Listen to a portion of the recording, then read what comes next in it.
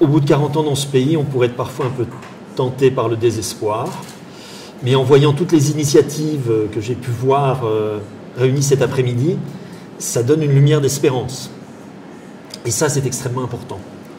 Donc je ne voudrais pas tant vous parler de la situation, de tout ce qui se passe à droite et à gauche, ni non plus de ces initiatives.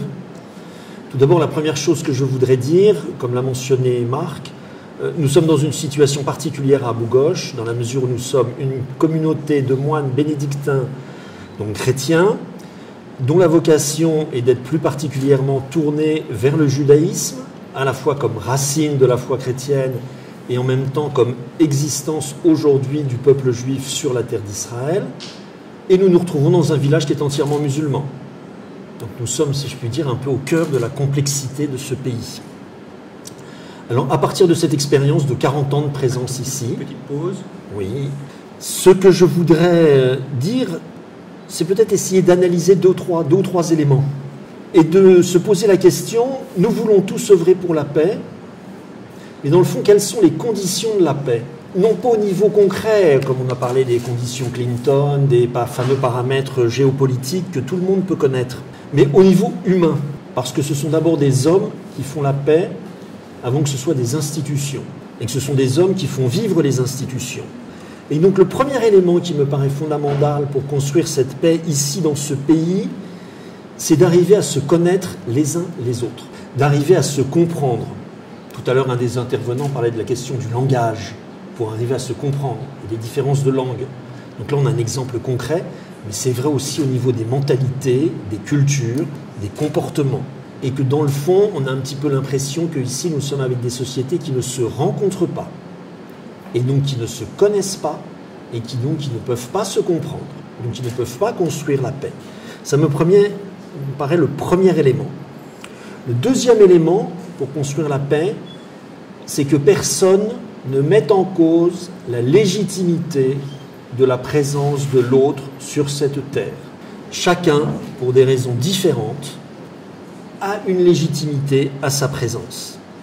Et donc il faut la reconnaître, l'accepter. Finalement, c'est l'élément fondamental de toute notre humanité, l'acceptation de l'autre. Et on voit bien comment aujourd'hui nous en sommes relativement loin, cela dépend dans quelle partie de la population, mais on voit aussi en même temps comment cette non-acceptation de l'autre entraîne une peur réciproque. Et au fond, la peur fondamentale, il me semble, dans ce pays, c'est que chacun a l'impression que l'autre veut le détruire. Pour les uns, les rejeter à la mer, pour les autres, les rejeter au désert. Vous avez le choix des, options. Et que donc c'est à partir du moment où il y aura le rétablissement de cette confiance, c'est-à-dire l'autre accepte ma présence ici, qu'il n'y aura plus de peur d'être détruit et qu'il y aura une possibilité de construire la paix. rétablir la confiance avec le fait qu'on voit bien comment, je dirais, dans les deux camps, soyons, soyons concrets, il y a des personnes qui sont opposées à la présence de l'autre. Et que le problème, c'est que ce sont les adversaires qui luttent contre ces extrémistes, on va dire, de chaque camp. Alors que ce devrait être chaque camp qui neutralise ces extrémistes pour pouvoir construire la paix entre les peuples qui vivent sur cette terre. Et c'est exactement la même problématique. Pour la religion, la problématique est exactement la même.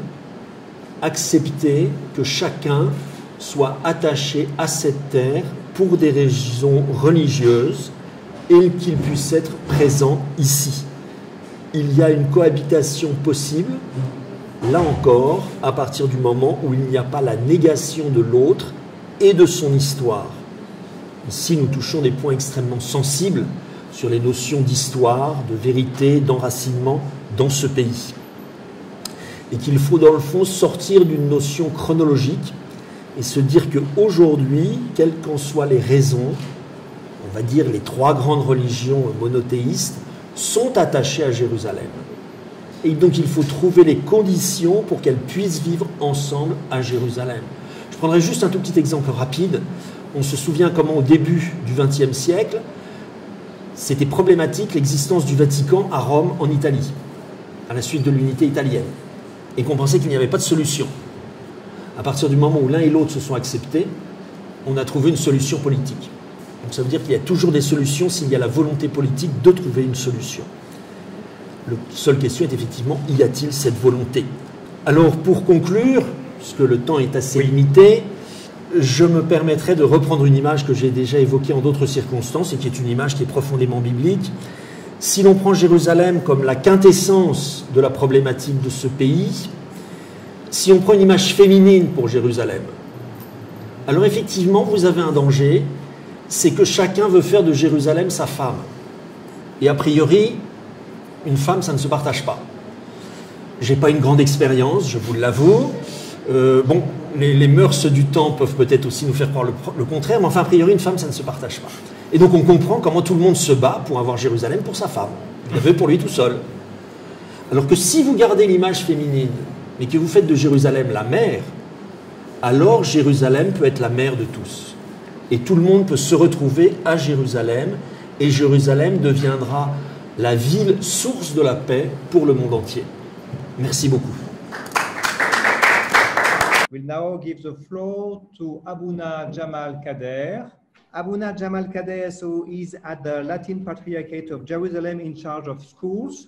The Patriarchate of Jerusalem is a Catholic diocese uh, covering Israel, Palestine, um, Jordan, and also Cyprus. Uh, Abuna Jamal Kader, you've got the floor for three minutes if you can. En français ou en anglais? Both. Uh, you can choose. You can choose. Sandra and Jack are with us and are doing a great job. Bon, alors je parle en français. En français. Je, ouais, je voudrais. Euh, euh, bon, merci d'abord. Je suis responsable des écoles. Et nous avons euh, 45 écoles euh, pour le patriarcat en Jordanie, Israël et Palestine. Et là, comme il n'y a pas assez de temps, je, je voudrais parler des écoles où il y a une jeune génération et qui, euh, ont, euh, qui euh, ont des difficultés. par exemple, on a parlé de se rencontrer. Moi, je parle de la Palestine, de la Cisjordanie. les enfants n'ont pas la possibilité de se rencontrer avec les autres.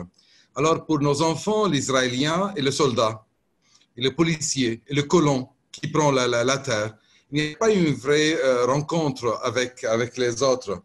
Or, dans nos écoles, on enseigne les valeurs religieuses, valeurs chrétiennes. Euh, ça inclut la coexistence, la non-violence, euh, la, paix, la justice. Et ça se traduit par un programme euh, quotidien, pas un programme académique, mais une coexistence vraie. Nous avons en total 60% d'enfants musulmans dans nos écoles et 40% euh, à Gaza et ils sont moins de 10% les chrétiens, euh, bien sûr. Alors, la religion garde toujours la possibilité de contribuer à la paix. Et euh, ça, c'est une, c'est vrai. Mais il y a le fondamentalisme, l'extrémisme, l'exclusivité. Ça veut dire si on commence à exclure les autres, surtout de Jérusalem, là, on n'arrive pas à la paix. Ce qu'on voit sur le terrain, c'est tout à fait le contraire. Euh, avec la, loi de base en Israël, État-nation, où euh, Jérusalem est capitale unique d'Israël, avec l'annexion, avec le plan de Trump, pardon, avec euh, beaucoup de lois et de pratiques sur le, terrain. Alors, il y a une vraie difficulté. ce qu'on demande, c'est de mettre fin à l'occupation ça, c'est injuste. On ne peut pas continuer euh, comme ça et vivre sous occupation où on n'a pas contrôle sur le, le, terrain. Et on a besoin de justice. Ralentissez un petit peu, s'il vous plaît, pour... Euh, ouais, bon. Euh, on demande simplement la, la, la justice, l'égalité, qu'on me voit comme un être humain avec des droits, des droits personnels, mais avec des droits nationaux en tant que, que peuple. Je voudrais euh, dire un mot sur Gaza. Je suis, allé, euh, je suis allé voir nos écoles à Gaza il y a deux mois. Il y a des jeunes merveilleux là-bas qui ont des rêves, qui veulent et qui ont droit à un futur meilleur. Si on parle d'une catastrophe humanitaire, ça a commencé déjà à Gaza. Il y a des gens qui meurent de malnutrition à Gaza. J'ai passé la nuit et le lendemain à 7 heures, j'étais à l'école et on m'a demandé si j'ai entendu les bombardements durant, pendant la nuit. Et j'ai pensé à ces enfants euh, qui se sont réveillés à 3 heures le, matin avec le son des bombardements à Gaza et puis qui doivent aller à l'école. Et j'ai eu l'occasion de discuter avec eux. Il y avait une leçon en anglais sur le racisme et il y a une ouverture d'esprit chez, chez ces, ces, enfants. Ils ont droit à un futur meilleur. Ils ont droit à vivre libre à, à Gaza et en Cisjordanie. Et là, on ne peut pas continuer avec les, les, les, lois, avec les revendications religieuses sur la terre, avec euh, l'utilisation de, de, de, la Bible pour justifier l'injustice, pour justifier l'occupation de, de, la terre et l'occupation de tout un peuple. Alors, la, voilà la, ce que je voulais, dire. La religion peut contribuer et doit contribuer. Nous sommes à la fin des êtres humains, nous sommes un peuple et nous avons euh, nos droits. Alors voilà ce que font le, les écoles du patriarcat avec l'éducation d'une nouvelle génération ouverte à la paix, ouverte au dialogue, ouverte à la coexistence avec l'autre, à reconnaître l'autre. Mais euh, on vit dans une situation vraiment difficile et ça doit changer. Si on veut réinventer la commençons par éliminer l'occupation et à voir dans les Palestiniens des partenaires égaux. Merci à vous. Merci beaucoup, Abouna.